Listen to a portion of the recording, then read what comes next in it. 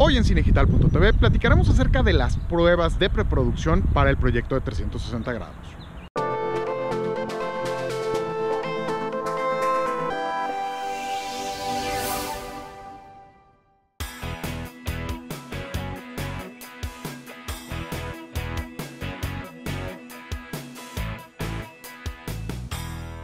Hola, ¿qué tal? ¿Cómo están? José Luis Sanz de cinedigital.tv y en esta ocasión estamos a un costado de la carretera porque venimos a hacer pruebas con respecto a las distintas cámaras y, los equipos que vamos a utilizar como parte de este proyecto de 360 grados. ¿A qué me refiero a pruebas? Recordemos que siempre que, tenemos, que vayamos a trabajar, independientemente de que sea un proyecto 360 grados o no, tenemos que hacer todas las pruebas necesarias con el equipo, ver si el equipo funciona, si no funciona, cómo funciona, qué resultados nos da, en el entorno en el que estamos trabajando nos, da, eh, en este caso, eh, que, obviamente va a ser en, en un tema de motocicleta, cómo afecta la vibración, cómo lo vamos a montar, cómo vamos a grabar el audio, eh, tiene calidad o no tiene calidad, se empata o no se empata, en fin, una serie de factores. Entonces, ¿qué es lo que estamos haciendo eh, el día de hoy? Básicamente estamos probando varias cosas. La primera de ellas es el comportamiento de las cámaras en general. Tenemos aquí tres equipos. Eh, tenemos aquí la Views 360, tenemos eh, de este lado la Insta 360 Nano y arriba del casco tenemos la Pix Pro 4K de Kodak. Entonces lo primero fue probar las cámaras.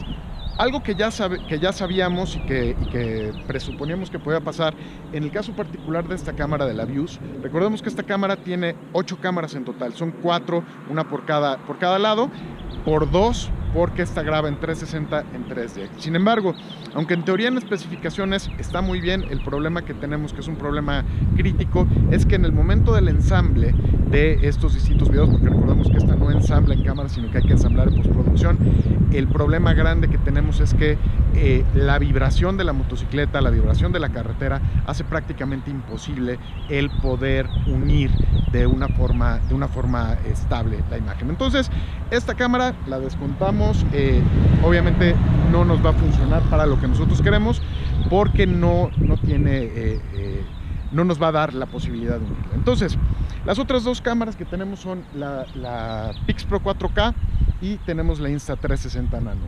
La Pix Pro 4K decidimos montarla en la parte de arriba del casco porque eh, en pruebas que hicimos eh, hace unos días nos dimos cuenta que si tenemos algo relativamente cerca, estamos hablando más o menos de 30, 40 centímetros de lente, en la parte en la que vamos a tener unión, la unión se, se eh, distorsiona el objeto. Entonces, si nosotros colocamos la cámara en el casco arriba, en este caso arriba de mi cabeza, obviamente no va a haber nada a menos de 60, 70 centímetros, entonces la unión va a ser perfecta. Entonces, hicimos la prueba, se mantiene bien, incluso a velocidad, 120 kilómetros por hora, no se mueve. Entonces funciona bien. Ahora, otro de los retos que teníamos y que estamos probando con la Pix Pro es que la batería interna, son baterías recargables, duran, duran una hora más o menos en promedio. Entonces, sabemos que una hora no es suficiente. Entonces tenemos otra, eh, estuvimos investigando y hay otra forma de poder alimentarla que es con cables USB. Entonces conectamos eh, dos cables USB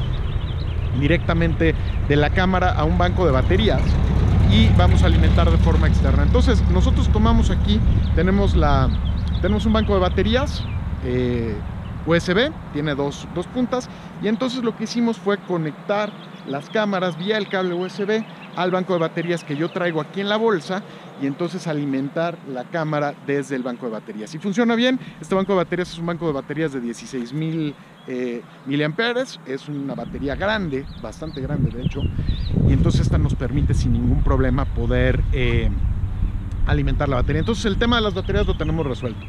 En el caso de la Insta 360 la tenemos fija aquí, eh, hablamos de las fijaciones, eh, de la importancia de las fijaciones, tenemos que estar seguros de que nada se va a caer de, la motocicleta.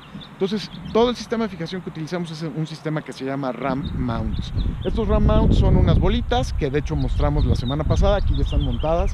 Eh, que nos permiten de una forma súper segura fijar todo el equipo a la motocicleta sin riesgo de que se caiga. Entonces traemos la Insta360 montada aquí, vamos a ver cómo se, cómo se comporta el material. Recordemos que esta graba en un solo, un solo archivo, hace la unión en cámara, entonces vamos a ver cómo se comporta. Y por el otro lado, el siguiente punto que tenemos, que estamos probando, es la H2N. Recordemos que queremos grabar el audio en formato ambisónico en formato 360 grados y esta es la única grabadora que permite hacerlo. Entonces eh, la montamos también con RAM mounts directamente a la moto, pero tenemos aquí un tema, la cuestión del viento. Entonces le montamos aquí un Dead Cat, una de estas eh, cosas como de peluche, que eh, intenta evitar el ruido del viento y, estuvimos haciendo algunas pruebas. Y en teoría funciona bien, sin embargo, tenemos un, detalle, a velocidad el nivel de ruido es muy muy alto y los niveles se disparan. Entonces todavía vamos, vamos a hacer una, prueba adicional con la ganancia a un nivel más bajo para ver si podemos capturar audio eh, rodando sobre la motocicleta sin problema. Entonces eso es otra de las cosas que, estamos probando. Entonces como ven, estamos haciendo una serie de pruebas. Otra de las cosas eh, importantes es que por la dinámica de lo que estamos haciendo, todo lo tenemos que tener a la mano.